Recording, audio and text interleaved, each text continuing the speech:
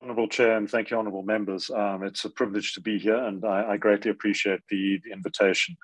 Um, I'd like to present uh, on a report that was published earlier this year um, and the findings of that particular report. If you bear with me for one second, let me just get a PowerPoint up.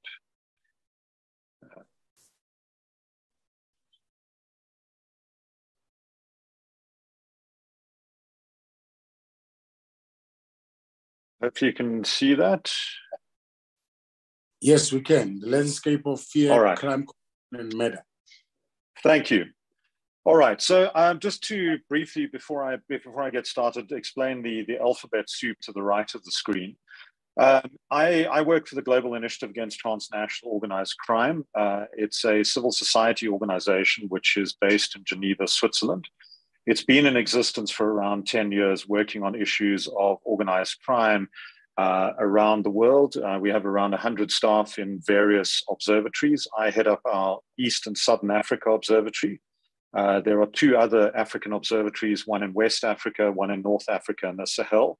We're also supported by uh, an expert group of around 500 people drawn from academia, law enforcement, uh, ju- judiciary, and, and uh, the development worlds. Um, and the global initiative on this particular project is partnered with the Institute of Security Studies and Interpol. That partnership uh, sees the, uh, the work done by the Enact Africa project. And the Enact Africa project is implemented by those groups to try and uh, build knowledge and develop skills to enhance the continent's abilities to combat organized crime. Um, and it's, it's funded by the European Union, which has placed security in Africa um, high up on its agenda uh, through its Pan African program. So now we've got that out of the way, uh, let me move on to the presentation itself. Um, we'll be speaking today a lot about crime. And I think that it's what we tried to do with this report, what I tried to do with this report was to take a step back from the focus area around Kruger and poaching on Kruger. Um, so much has been written over the years by myself included, where there's been a very narrow focus on on the Kruger National Park, the poaching that's occurring within the Kruger, uh, issues around the so called war on poaching. Um, and I think that what we set out to do here was to take a step back, look at Mpumalanga holistically, and look at some of the issues in Mpumalanga, um, a province that is uniquely situated in South Africa, given its its um, access to various borders, uh, given the fact that it surrounds the southern part of the of the park and the so-called intensive protection zone, where uh, many of the park's last rhino populations are left. Um, the first slide there is a, a, slide that was taken, an image taken from uh, an armed robbery at a business mall in Bushbuckridge, and you're probably wondering why I'm putting that up. But I think that it exemplifies in many ways the challenges that we're dealing with in Mpumalanga, but also the challenges that we're dealing with in organized crime more broadly in South Africa.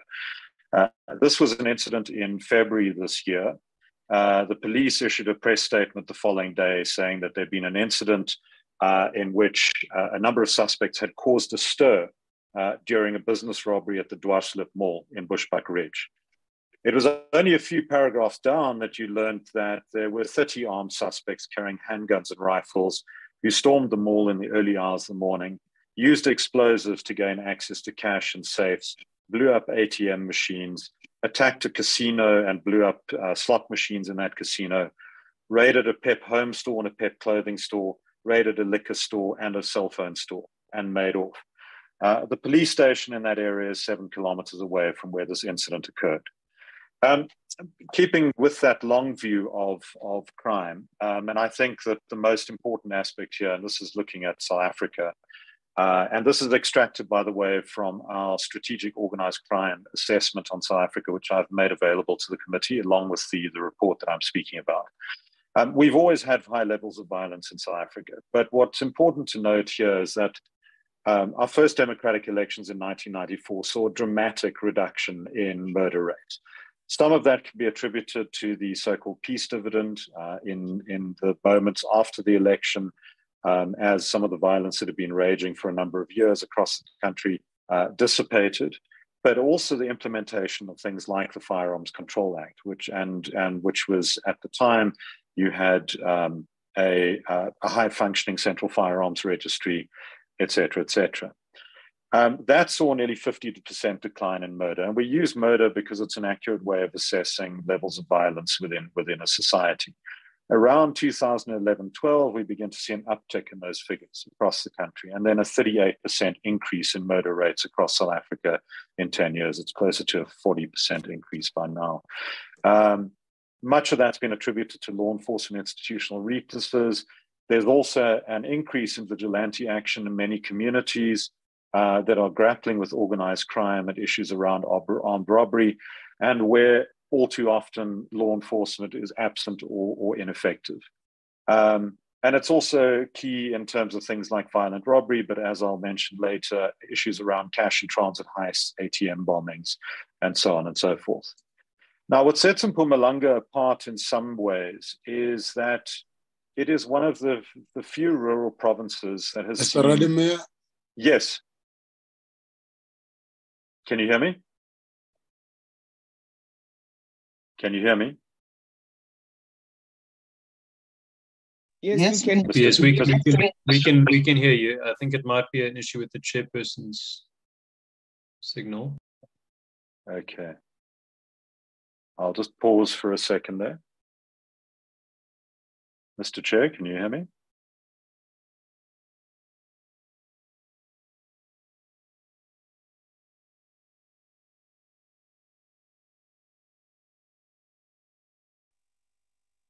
We can hear you, Mr. Radam. We will okay, make in, the, in, the in, All right, in the interest of time, I'll continue. Thank you, ma'am. Um, so if we look at, at uh, Mpumalanga, it's in a, in a fairly unique position among provinces in South Africa where it's seen a 42% increase in motor rates over 10 years. That, uh, as you can see, Gauteng, uh, which is particularly high rates in, in violent crime, has also seen a 42% increase over that period. And those provinces, the Western Cape, 46%, uh, and KwaZulu-Natal are the, are the two highest. Um, which is, is quite worrying if you consider that, you know, Mpumalanga is, um, is, is in that cluster of provinces with such high levels of violent crime. But another aspect which is very important to, to mention, and this slide is quite convoluted, I'm not going to go into too much detail, other than to emphasize that South Africa is in the unique position among African countries. And this is measured in um, a uh, organized crime index, which we produce uh, globally every two years, and an Africa index, which we produce together with the ENACT project, um, where we try to measure levels of organized crime across countries, but we also try to measure the levels of resilience within those countries. Um, and what what is what this research shows, and you can have a look at the, the document itself, is that South Africa is in a unique position. While our resilience is growing increasingly fragile, we still have comparatively high levels of resilience compared to most African countries. Uh, but we also have extremely high levels of, of criminality.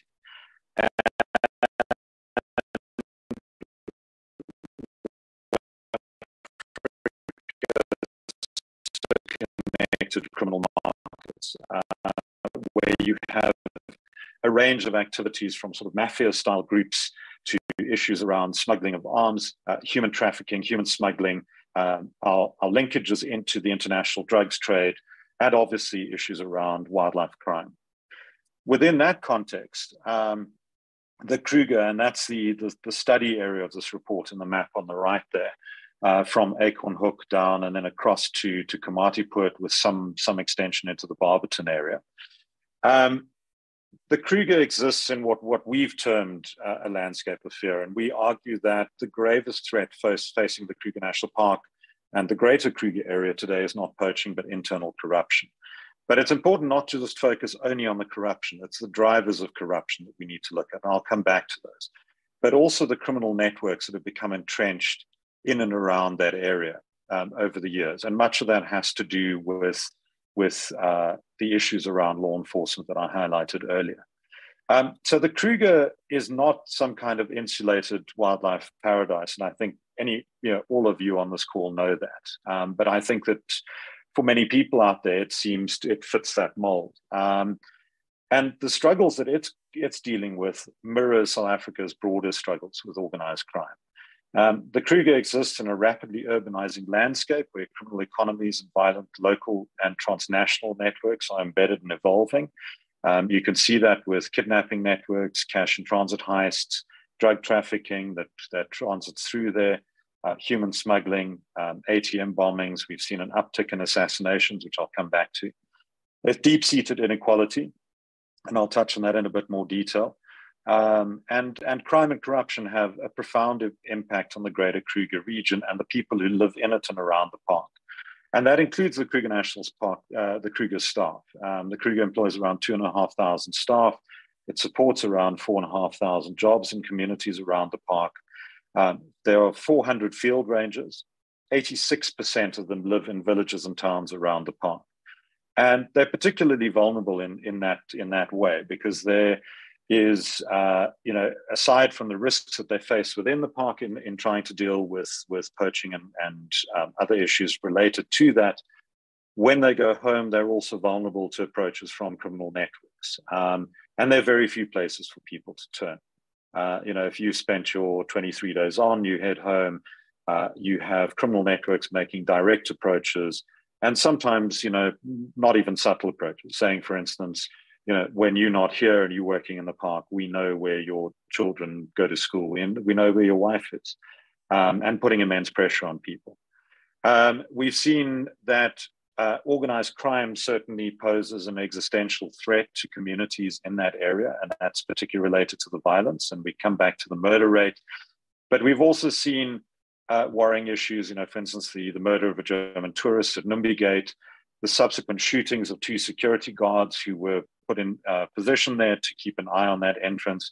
We've seen the murder of Anton Mzimba, uh, the head ranger Timbavati, uh, whose murder has yet to be resolved, despite the fact that there are leads on suspects. Uh, we've seen the murder of Colonel Leroy Bruwer, uh, who was assassinated while investigating rhino poaching networks in the Kruger National Park. Again, no one has been uh, charged, or I mean, no one has been tried for that crime.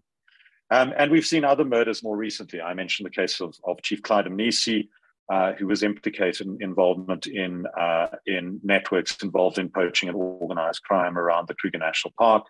Um, and the subsequent uh, assassination, it seems to be in a, an internal family dispute, but the subsequent assassination, murder of his, of his widow. Um, so all of those complexities come, come together. Um, so, if we look at this issue, and I've termed it a governance void, where you have a growing community living in and around the Kruger National Park. You have around 2.9 million people within 50 kilometers of the Kruger's boundary fence, according to Status in 2019. That figure is probably likely closer to 4 million today. Average unemployment's around 46%.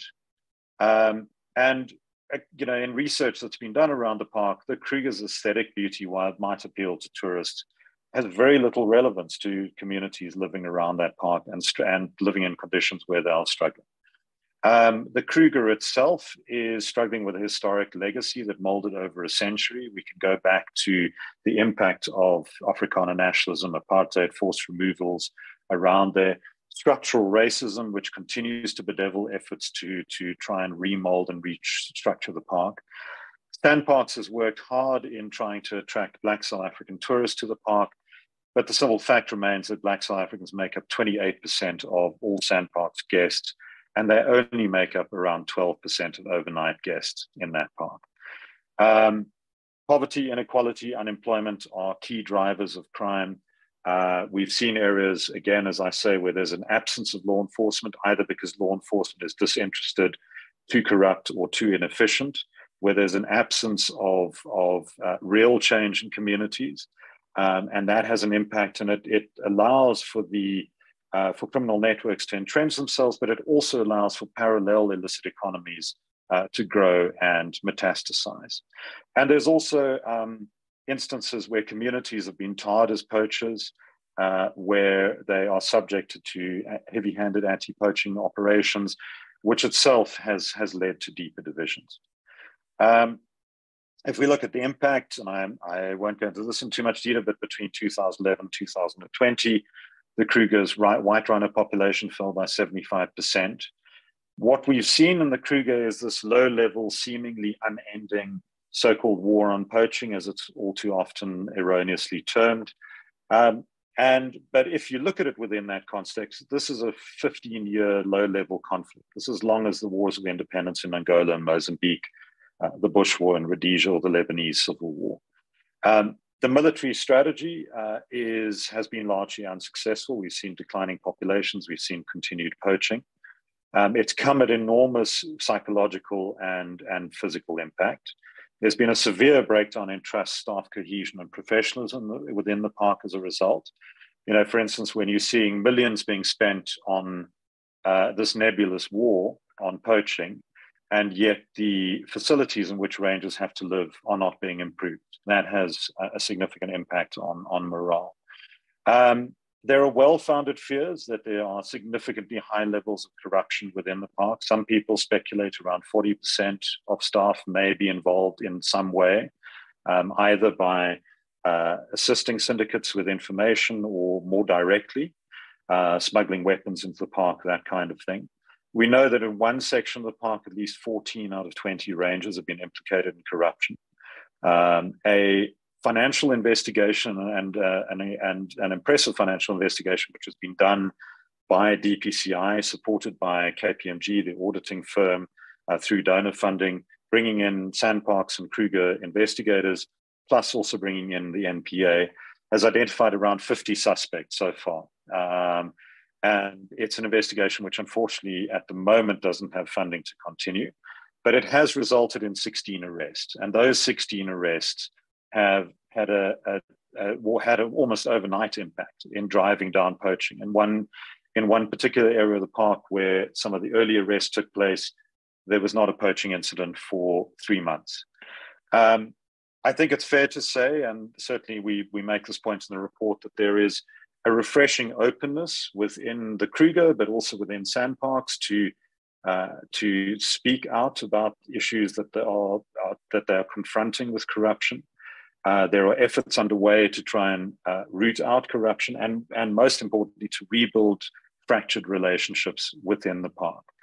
But it's something that is going to take um, a very, very long time. Uh, and it's going to take a degree of, of commitment. I'll come a lot back to that further. Um, if you look at it, and we've termed this the Wild East. Um, it's a it's a, a commented uh, a statement taken from a book about organized crime in Mpumalanga. Um, Mpumalanga's violence and its geographic position set it apart. Um, as I've mentioned earlier, its, its uh, position in relation to Mozambique and Eswatini. Uh, we've mentioned the various types of crimes that are, are occurring increasingly often there.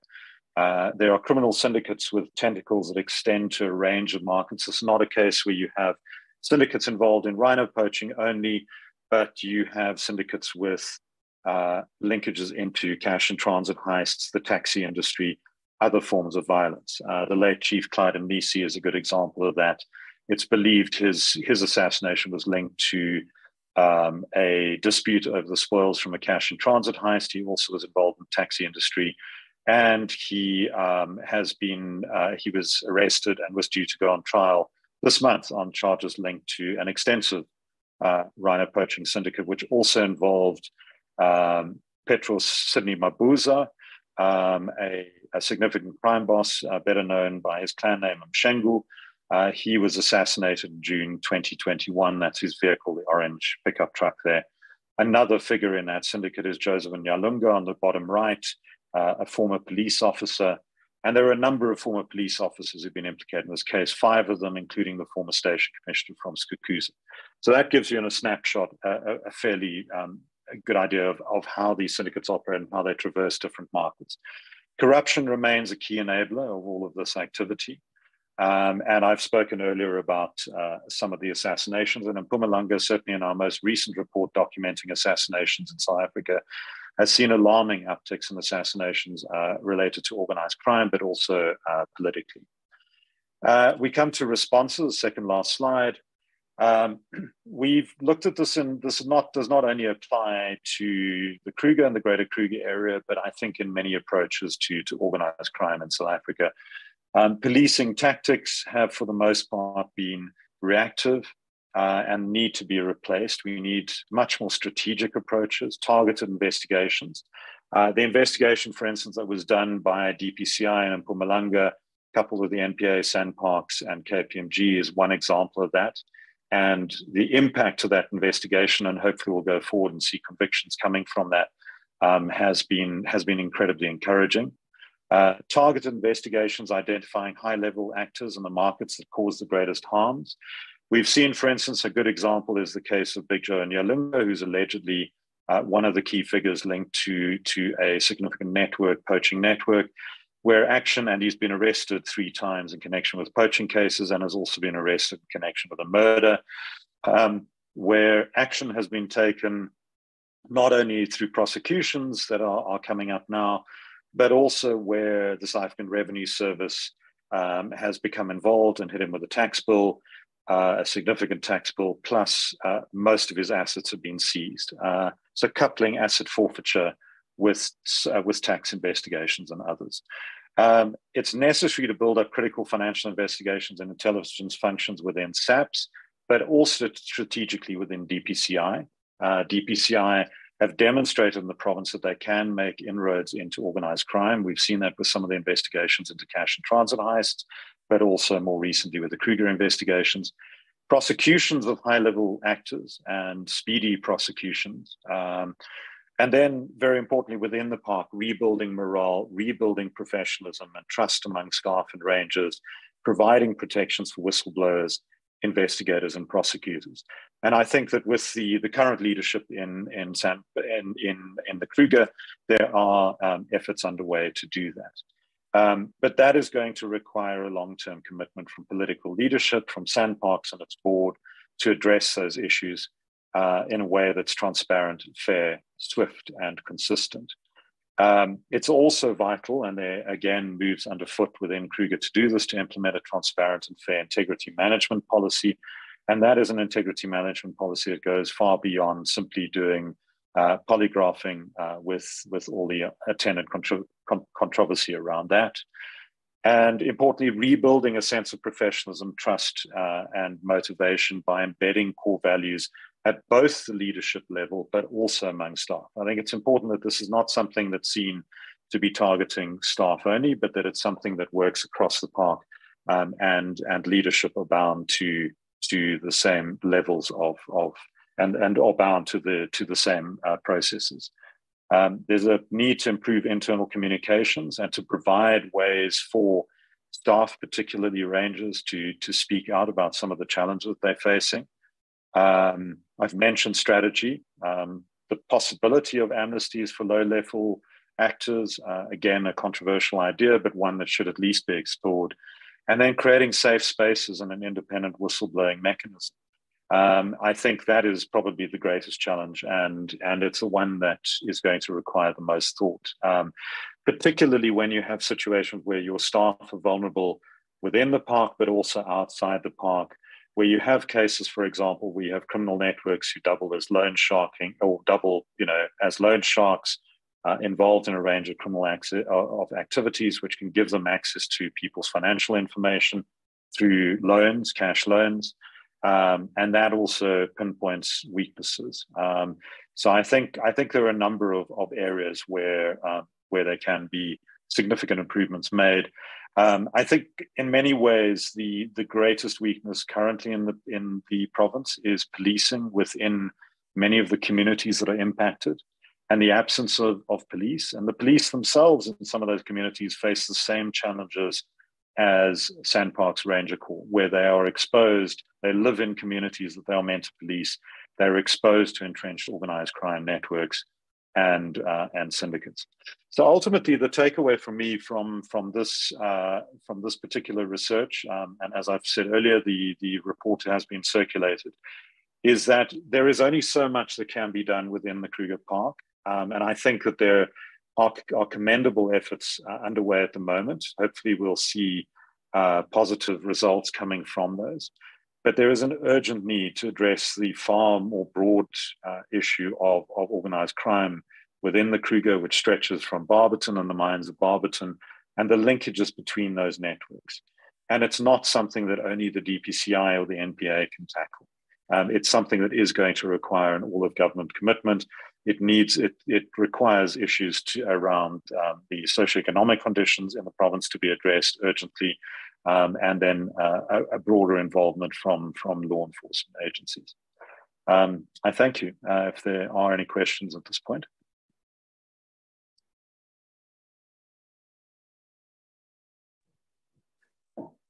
Thank you very much, uh, Mr. Rademeyer. Thank you. Thank you very much for a comprehensive uh, report. Uh, honorable members, can I invite you to engage the presentation of Mr. Uh, I know the hand of Honorable Weber. I also know the hand of Honorable Bryant. Uh, please proceed, Honorable Weber. We'll see if there are other hands that, um, that may come a bit later. Uh, thank you, Chairperson. Uh, thank you, Mr. Rademeyer, for an excellent report. I think we all are a little bit shocked and maybe, well, not shocked, I'm not shocked, but paralyzed by the information due to the fact that um, we do not have proper enforcement of, of dealing with these issues. You just mentioned now from the mines in Barberton right through now, I live in Mpumalanga. So one of the big issues in Barberton town in itself is corrupt not only by these wildlife, but also by the mines, which no one can do anything about. So it's like you said, a parallel, I'm not sure you called it a parallel, but it is a parallel, um, so like a shadow uh, mining companies. They do exactly what a legal one do. They just parallel to them. And this is exactly what is happening. You mentioned that um, there was a fall of 75% of rhino within the Kruger National Park. So this is a very interesting question I'm going to ask, which I'm not sure you can answer, but what is the real figure of existing rhinos in, in, in, the, in the Kruger? It is also scary to see, and I understand it. If someone comes to you and say they're going to kill your wife or your child, they do that to a policeman and to a ranger, which really cares. They really don't really have anywhere to go because they must go to a policeman that they thought that is um, on their side and they're not, and they lose, they do lose of this. What can really be done about that? I, I, I saw you said that there's 16 people arrested. My problem is you said there's also no funding. Who's responsible for the funding if you're going to um, a court case? And is it the investigation that needs to be done by the police that is needs funded? Why is there no funding for this investigation so we can can can actually have some serious convictions here? I think one of the big problems here is also the the, the, the crossover from from from from uh, provinces um, because in Skukuza court, I quite often go to that. And that is my other question. You mentioned that station commander has also been arrested or being implicated. We said with Skukuza court that is mostly in the Bushbuckridge area, exactly where you had this um, this this this um, 30 uh, masked people going in and blew up everything. Um, so Skukuza court is there. If the station commander is implicated and the Skukuza court takes place in Skukuza, how fair can these outcomes be? Um, I've attended some of them. I've seen some be arrested. I see some people really just they just walk out. And because the system of the cross border, someone that has been implicated twice or three arrested in KZN and they come over to, to Kruger National Park in Mpumalanga, there's no reference from that situation and they walk three as a first timer. Um, how can we maybe uh, better that situation between all of the provincial um, environmental people? Then, just my last question, I think, let me just make sure no, I think for now that is it. Thank you. Uh, just my last question. Um, when you speak about the socio-economic conditions and and and um, is it that you mean about the inequality and the poverty of people and therefore they're vulnerable to the syndicate crime uh, to the crime syndicates in sense of they will do anything to sort of get money in betraying what is uh, uh, what is happening there then my question, if that is what you mean, is how can you lift up the socioeconomic uh, uh, uh, problems if the country has such a high rate of poverty and unemployment? And one of the reasons we're there is because of this syndicate crime. um, and the corruption that we have in the country. Thank you very much.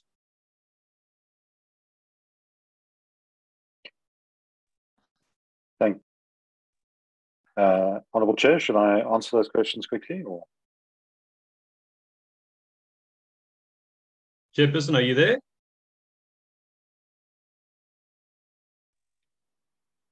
Uh, I think we normally, sorry, I think the chair's dropped off again. We normally take a couple, so uh, I'll take the liberty, I think, in the meantime, of just following on.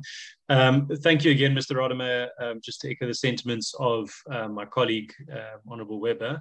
Um, very, very interesting presentation, and uh, I think it's it's uh, sort of a missing piece of the puzzle in terms of many of the presentations that we've had up until now.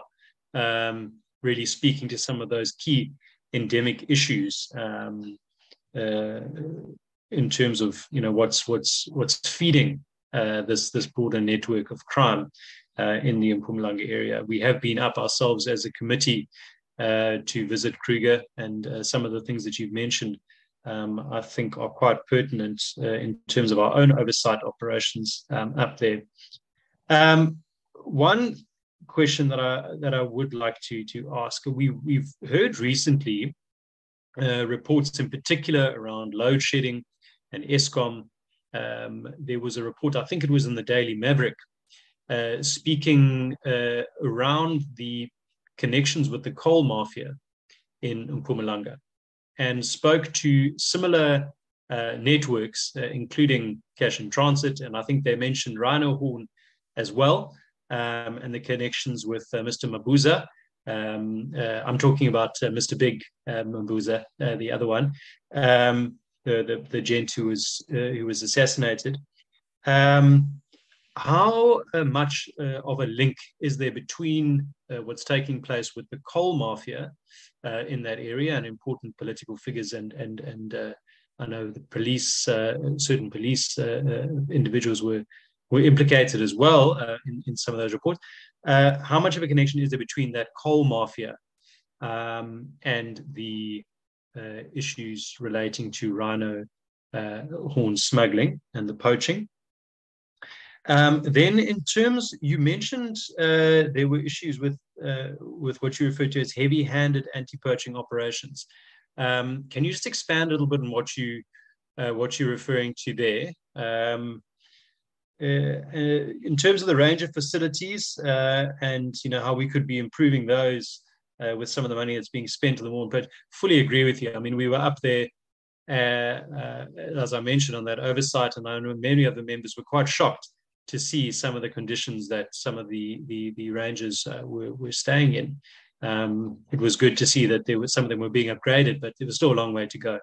Um, and you know, I don't think anybody wants to be spending this money. That said, we are still sitting uh, with 82 vacant ranger posts uh, at Kruger National Park. Only five of them have been managed to to to, to be filled uh, by SANParks over the past year.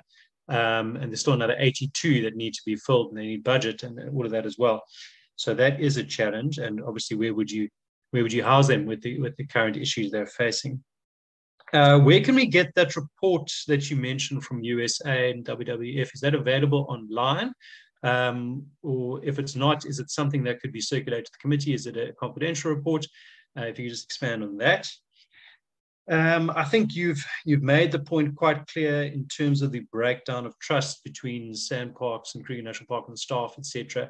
I know it's something that which we've raised on a regular basis.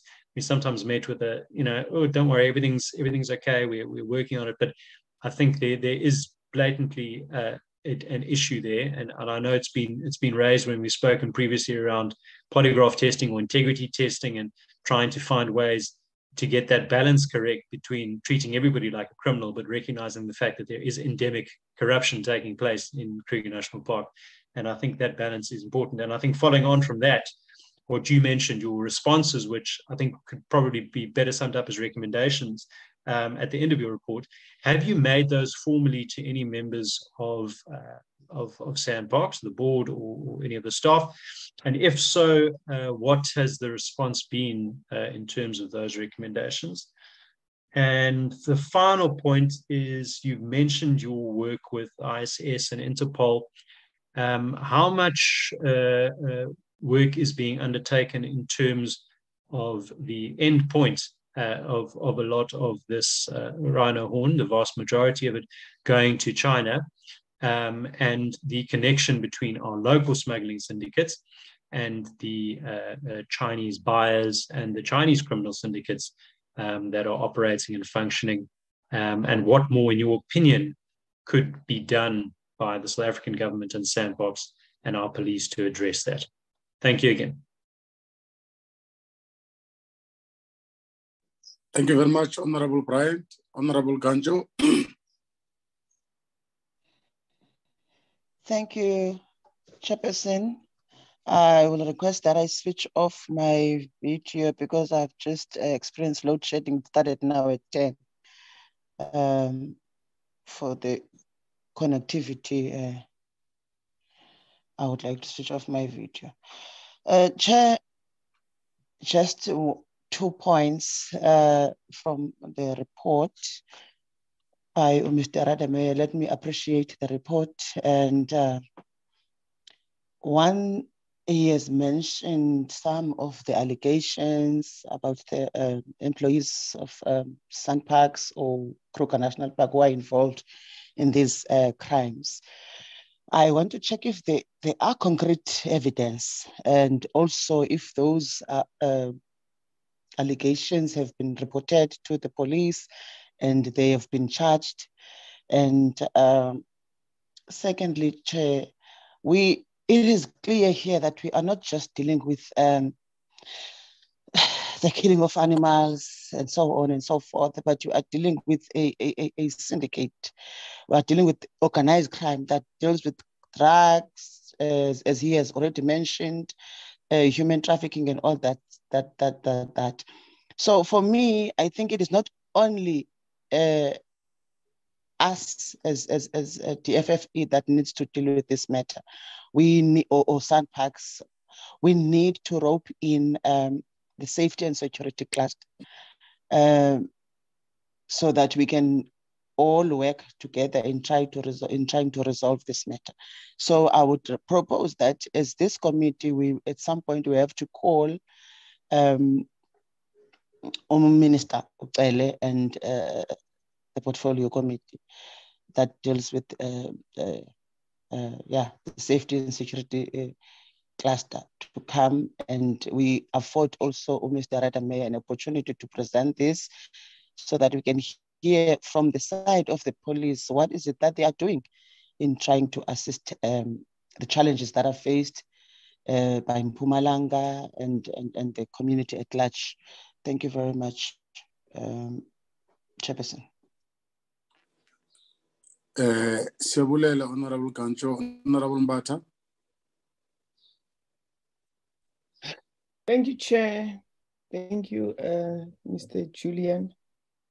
I think uh, you haven't touched on the, the local strategies, uh, community safety, like the your, your CPF, uh, your the street committees, if there are street committees, because it's a rural area uh, on how best uh, uh, this can be um, controlled. And what other assistance because let me just give a reference on where I'm staying. We have a lot of crime, um, but what what we do, we did as a community. We we decided to get one uh, security company where all the community members agreed to use that security company.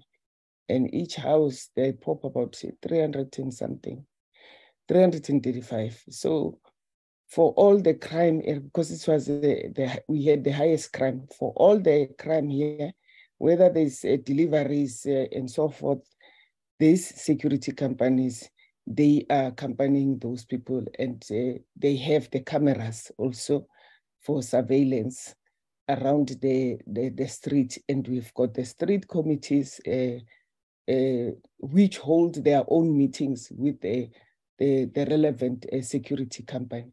So for that, we, uh, we have seen that our crime has, um, has uh, gone down because there was housebreaking, kids couldn't go even to the shops.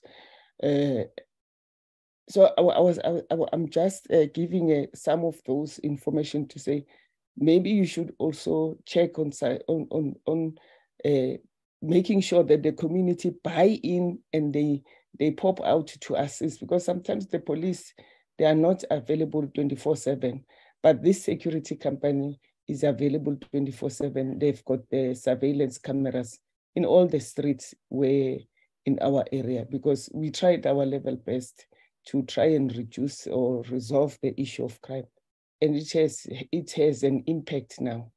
And we have so many cases where we have the, as the community we have uh, um, uh, found ourselves the, the, the, the culprits. Then after, uh, by the assistant of the security company, and we have handed over, uh, uh handed uh, them over to the local police stations. I know it's a difficult situation, but please try and look at those uh, smaller issues that it means that the, the community is buying in now. So it will assist a lot. Thank you. Siyabonga Mhlonipheki Mbatha. Honorable members, are there further takers?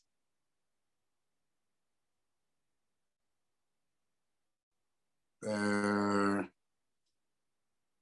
okay, Mr. Rademeyer, just uh, from my side, um, I'm sure you would agree with me that uh, the, the triple challenges of poverty, inequality, and uh, uh, unemployment are significant uh, contributors and drivers uh, of crime.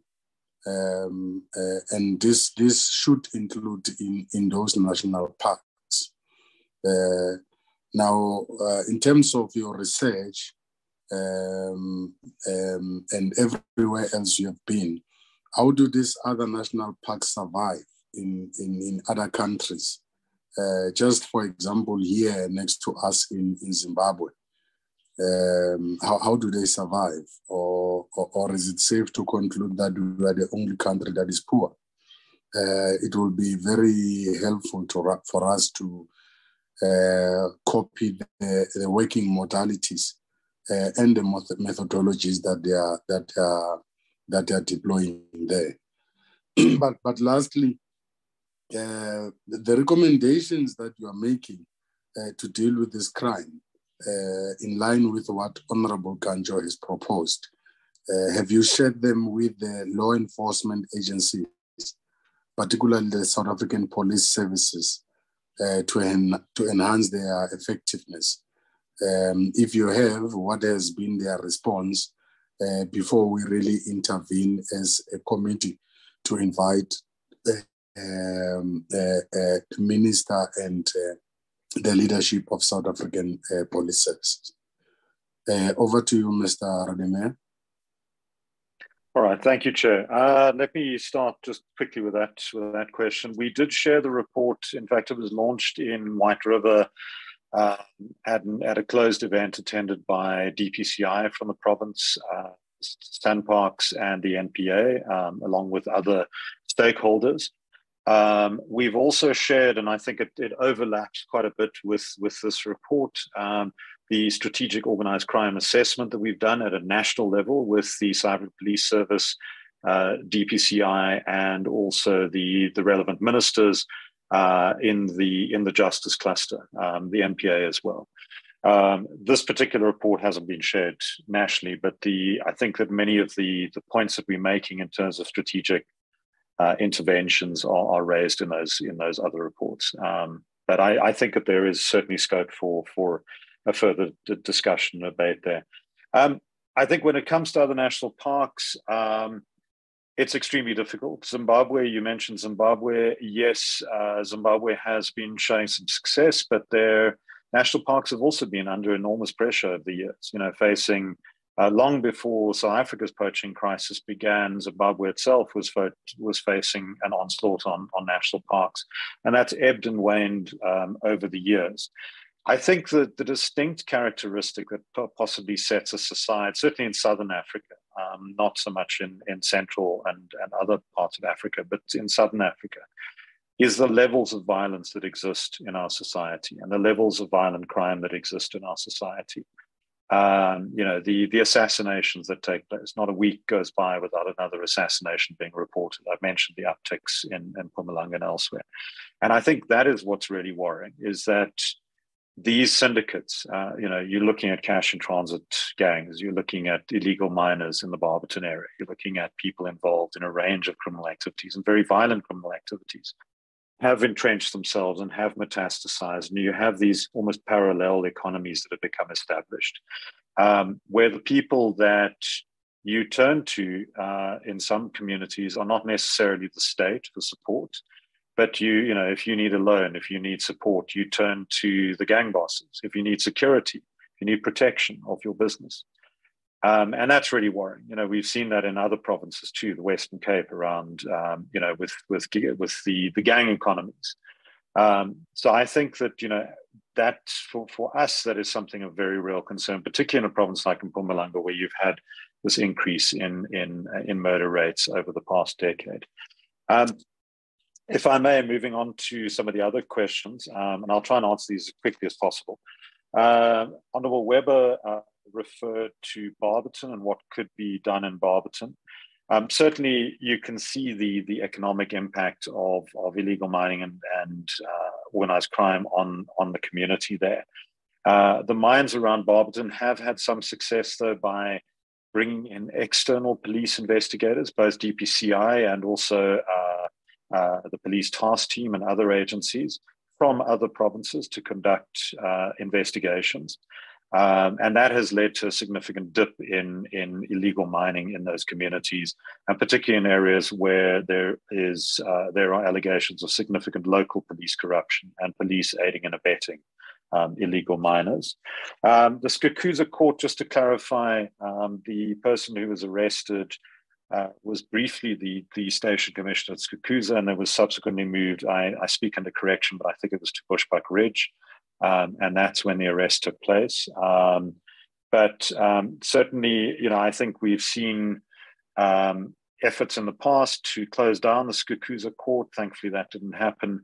Um, I think there's the Skukuza court itself has has a high um, uh, level of convictions that have taken place and dedicated prosecutors who are, are working there.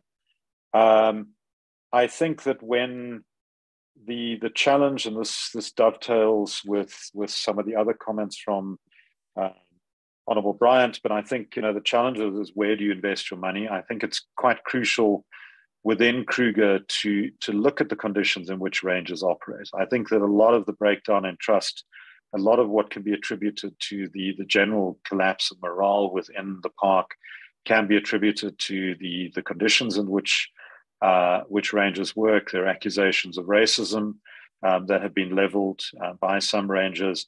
There certainly is, uh, you know, if you look at uh, from a from a perspective of sort of spatial apartheid, very little has changed in the way that structures run within Kruger, and I think there are now efforts to try and relook at those, to also look at ben- to carry out benchmarking operations, to look at salaries and employment scales. Um, so that's slightly important. Um, the socioeconomic conditions, and this uh, also touches on what the Honourable Chairperson was saying now.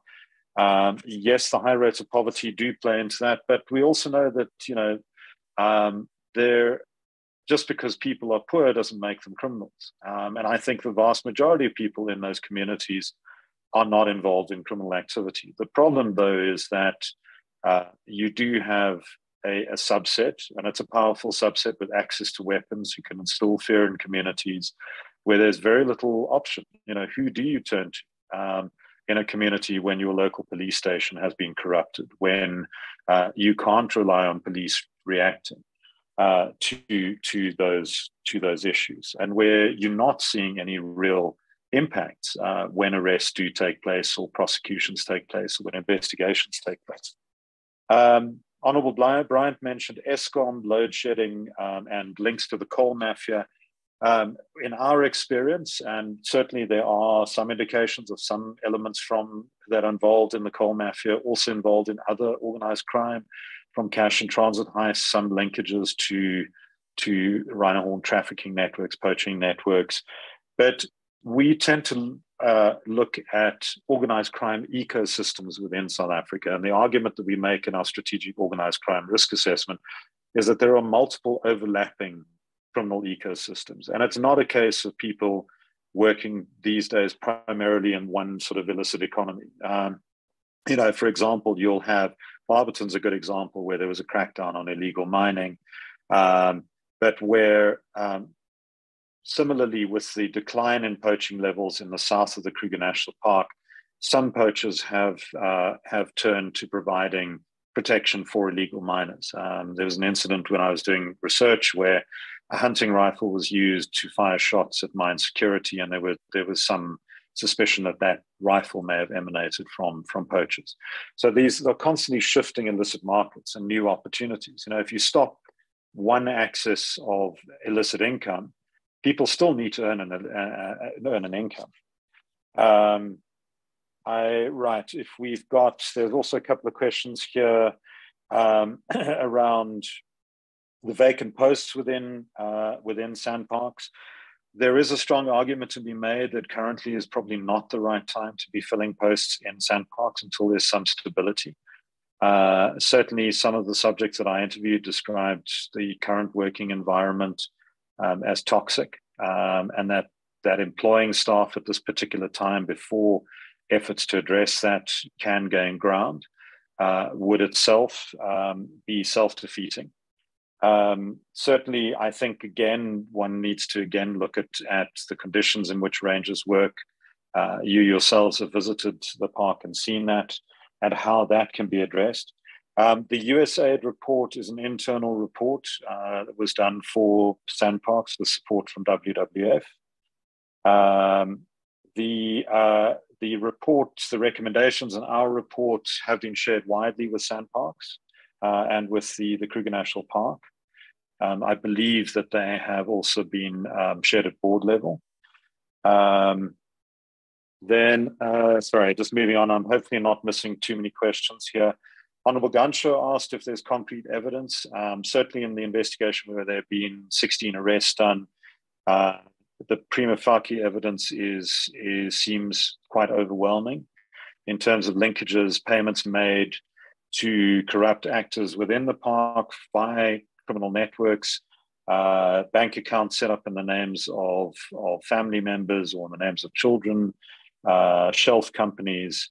Um, there's a lot that's been unraveled there, and certainly with the with the early arrests that took place, and that overnight decline in poaching, uh, where it where it dropped from fairly high levels to no incidents in three months, show that that these kinds of operations can have an impact. Um, I think DPCI have been very involved in that process, and I think DPCI and the province have been very involved and collaborative with SANParks and with the Kruger National Park, uh, and working on investigations, along with the police stock theft unit. Um, and the SAP stock, stock theft unit based within Kruger um, has also been very effective. But I think there's a lot more that needs to be done in communities around the, the Kruger, uh, where we've seen this metastasizing of, of organized crime and, and other issues. Um, Honorable Mbatha raised a very important point around street committees uh, and security companies and, and communities taking on their own uh, levels of security and addressing those. And I think that that certainly is a vital component, um, particularly in, in areas where you have an absence of law enforcement. But there is also so only so much that can be done. We've seen cases, for instance, where um, street committees are intimidated, uh, where uh, you know where you do have uh, violent criminal networks that are entrenched, um, and they themselves, in many cases, might not have the same protections as you could have if you had a dedicated law enforcement focus uh, on targeted investigations, looking into the networks that are terrorizing communities. Um, but I do think that that is an important component. It's an important component everywhere in South Africa where people you know have the ability to to do that. Um, certainly, not all communities can afford cameras and and and uh, security uh, guards uh, on patrol. Um, and that in itself raises a challenge and, and helps to deepen inequalities in many cases in South Africa. Um, I'm not sure if I've missed any other questions that were asked, Honourable Chair, but uh, if if I have left you on out, please feel free to to shout.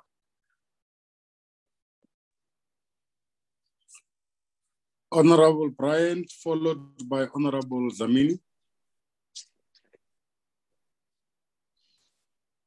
Thanks, Chair. Sorry, there was just one or two things uh, that I think uh, just just requiring a response on.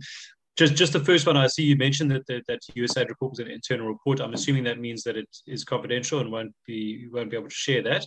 Uh, if you can just confirm that. Um, and then the one question that I did ask was in terms of Interpol's involvement and your uh, dealings in terms of feedback with regards to the Chinese markets and the Chinese yes. smuggling syndicates and how that feeds in.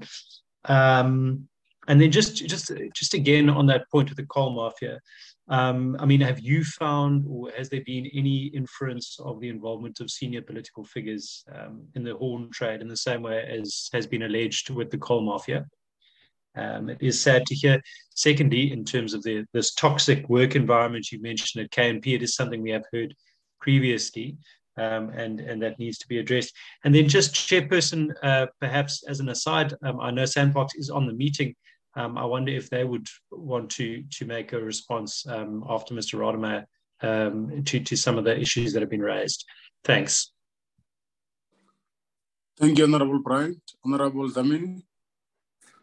Thank you, thank you, Honorable Chair. I just want to make some follow up, if probably they were not mentioned. One, I don't see the analysis about the um, stealing of cars because what actually happened of stealing of vehicles what actually happened now is that now there's a lot of these chop chop shops in particular of selling the parts.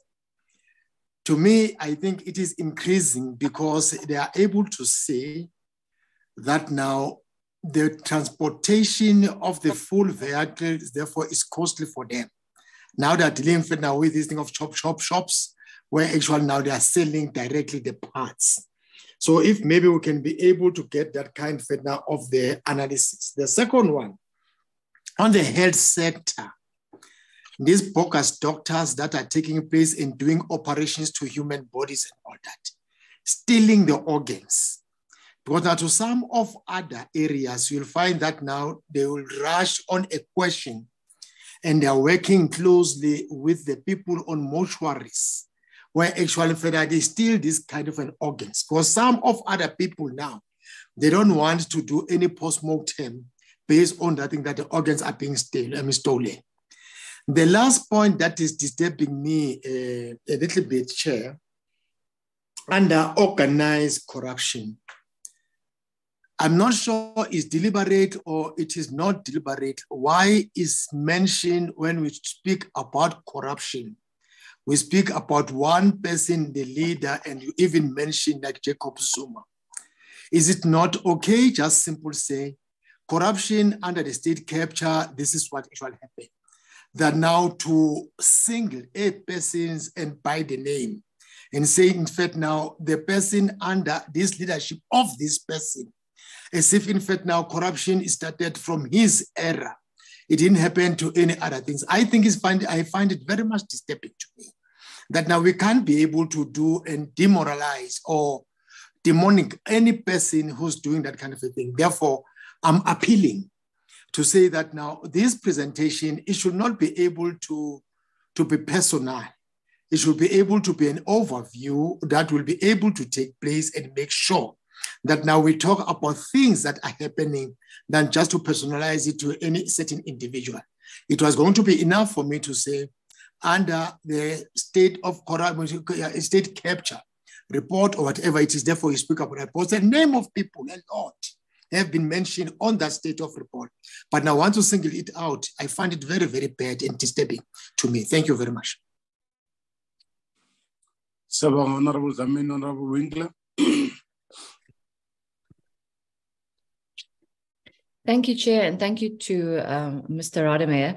I'd like to know, has there been any response by SANParks um, and the department um, with regard to the report? Um, because I, I, assume that this was sent to the various applicable authorities.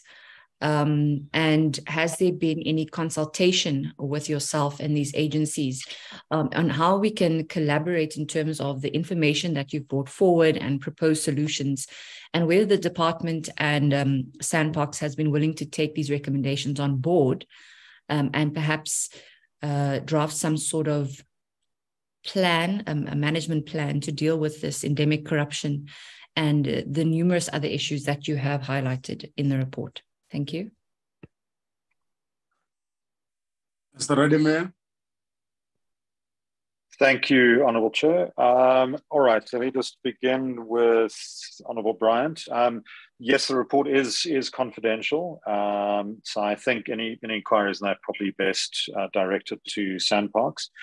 With regard to the, the Chinese market, um, we, under this project, haven't recently done work. I've done quite extensive work myself over the past 10 years looking at linkages between rhino horn trafficking uh, in, in Africa and also in Asia, uh, notably Vietnam and China. Um, I would say that from the uh, that you know much of the market these days seems to be in China. Certainly uh, there have been some efforts to do investigations. I think there's a lot more that could be done there. There has been some encouraging signs uh, in recent years, although disrupted somewhat by the pandemic, of collaboration uh, between South African and other law enforcement agencies and counterparts uh, in the People's Republic of China. Um, you've also asked if uh, high level political officials uh, are implicated in uh, rhino poaching. Um, there are many allegations that do the rounds. Uh, hard evidence is hard to come by. Um, you know, there have been suggestions of some political figures at a, at a more lower level um, who are implicated in that. I, I think it's it's um, it's a tricky one to to assess, particularly given the the climate that one sees in a province like Mpumalanga, where you do have um, you know, for instance, the investigate an investigator in a significant rhino poaching case being assassinated. There is, you know, a, a, climate of fear to some degree, and I think that there's a reluctance to probe too deeply um, very often when it comes to powerful figures. Um, so you know that that in itself. Um, so I think you know when it comes to a comparison with the coal mafia and those linkages, uh, you know probably um, not not quite on the on on the same level. Um, if we move on, uh, Honorable Dlamini, you mentioned the theft of cars and chop shops. Certainly also an issue uh, in that province and the movement of cars across borders. Uh, one of the people allegedly involved in, uh, in a network that we profile in the report and is, who is due to stand uh, trial uh, soon, a former police officer was also implicated in moving stolen vehicles across the border, which um, allegedly was the reason for his uh, his leaving the police. Uh, we've also seen cases with vehicles moving, and I'm sure you, you're aware of these, of, of vehicles being moved across the border uh, through Eswatini.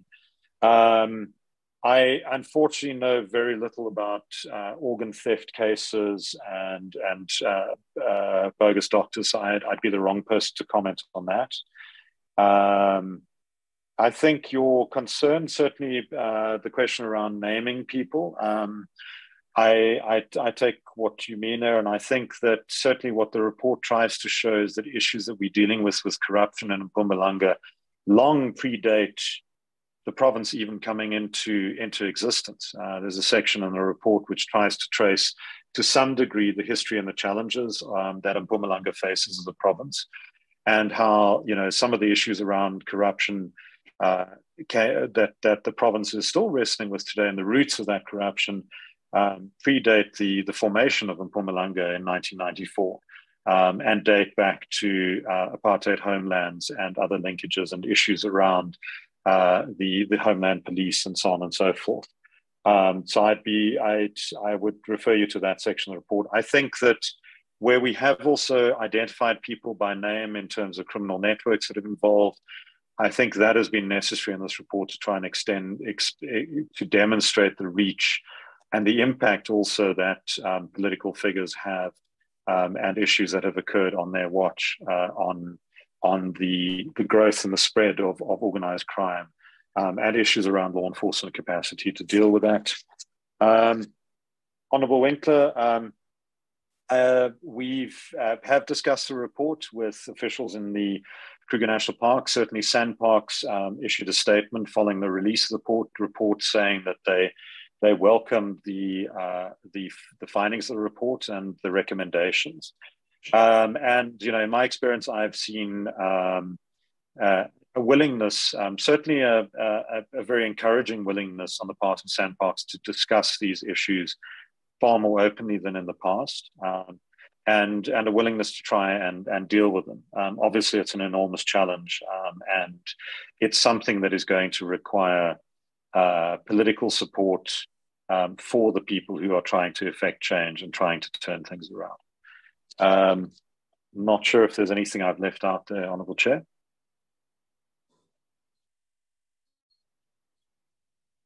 Honorable Winkler, is that the legacy end? Yes, apologies. Honorable Dlamini. Chair, I still want to insist. Mm -hmm. The report says that now, even before 1994 and prior 1994, therefore a lot of corruption has taken place. Now, but the report is only mentioning one person. Therefore, I will say, without a debate and all these other issues, I will say Let's remove the name of any individuals that are there and speak about the report.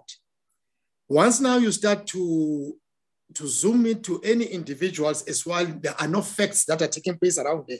It's just a question of insinuation to say it happened and all that. It's going to create problem to some of us. In particular, where actually you find that now there is no evidence so far up to now. Therefore, I will say let the report is good, but Let's not mention the names of the people. Let's just talk about the report and its content than now to say there is this kind of What's if we check how many administration did we have? We have the Mandela administration, we have the Thabo Mbeki's administration, we have the Zuma administration, we have uh, uh, uh Motlanthe's administration, we have the Ramaphosa administration now that is still on. But I don't think it is fair. Therefore, I am appealing. Let's not use the names of the people in any report like this. Thank you. Honorable Bryant. Thanks, thanks, Chairperson. Um, Chair, I think we, we obviously wouldn't be able to amend Mr. Rademeyer as a report. It's it's his report, and we have invited him as as a guest. Um, so obviously he would take that into consideration himself. Um, I personally don't see an issue with it. Um he's, he's speaking he's speaking around around facts and and, and historical issues. I don't think he has a political agenda. But Chair, my, my question is just in terms of um, whether we can we can request SANParks to to respond um, after this because I think there are a lot of very important issues that have been raised, and I think we should give them the opportunity uh, to respond to some of those issues uh, if possible, Chairperson. Thank you. Thank you very much, uh,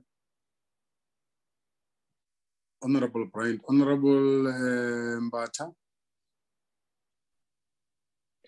Thank you, Chair. I think um, I will agree with what uh, Honorable um, uh, Dlamini has said, because also on the pictures, I saw the picture of one of the uh, leaders in uh, Unless there's a proof that it, it, that's what happened. But for now, because uh, there's no evidence or, or, there's no criminal charges.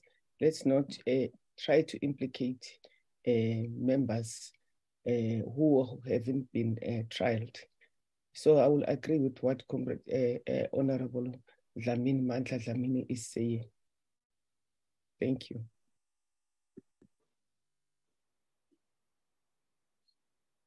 Ms. Yago, what is that end for?